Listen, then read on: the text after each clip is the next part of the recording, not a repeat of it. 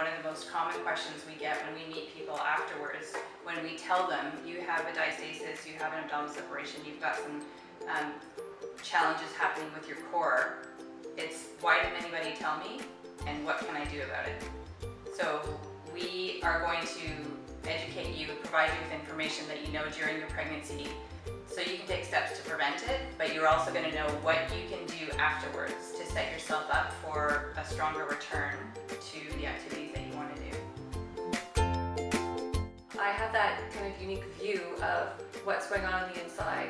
Kim has worked with pelvic floor health for years as well, and so a lot of the programs don't involve that component. And because we have these different backgrounds, I think it really makes us stronger as a team. We're about stronger mummies and flatter tummies. So it's not just about getting your flat tummy, it's about being stronger from the inside out because that's what will help allow you to return to the activities that you want to do and be confident in your body. People don't talk about how hard it is. And again, it was this woman on the phone who I spoke with today, watching yourself get big. People don't talk about that. You hit like seven months maybe, and then you go, crap, I'm gonna get bigger. And then you immediately go to, how am I gonna get this off? Immediately. And you still got a couple months to go, right? So um, I don't think a lot of people talk about that, the psychological and the emotional parts of that. So, um, you know, yes, I want to get them strong and fit, but I do rein them in and make sure make sure they do it safely, properly, effectively, without causing further damage, so they can get where they want to go much faster. For me as a physio, before I met the girls, it was always sending them into the big black hole. Here I've got their function back, but now they don't know how to take it and use it because I can only get them to a certain point.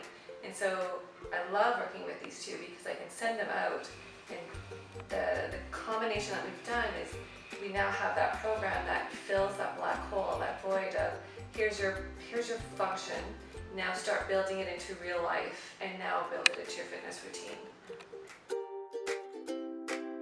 You need to set yourself up when you're, when you're pregnant so you know how to heal properly postpartum. You need to heal from the inside out. Nutrition, the right exercise, the right people to guide you for when there is a problem. Getting assessed, finding out what you're starting with. And slow down. Slow down. I'm going to steal a quote from Kim.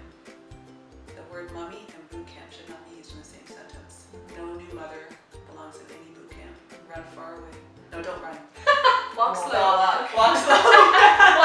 Walk slow. Yeah, yeah, yeah, yeah. Walk slowly away. Yes, and yeah, just slow down and and It's like Kim said, appreciate the fact of what you've just gone through. Whether it's a C-section, vaginal delivery, you grew a person inside you. Mm-hmm. You know, it's not going to go away overnight. But just have the confidence in knowing if you do everything correct, when you do start back, you're going to be that much stronger.